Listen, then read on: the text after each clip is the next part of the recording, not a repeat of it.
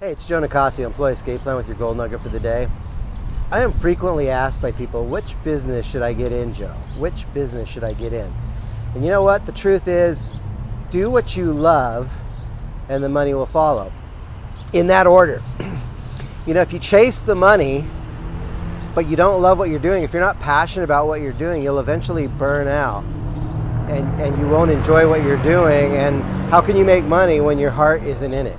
But on the other hand, if your heart's in it, if you're in it to win it, if you love it, uh, even if you're not making money up front, you will eventually make great money. You will prosper because there is nothing as attractive as a person that's passionate about their gifts, their talents, what they bring to the world. When you're passionate about what you do, when you love what you do, eventually people will pay you a lot of money to serve them and tap into your passionate, passionate energy.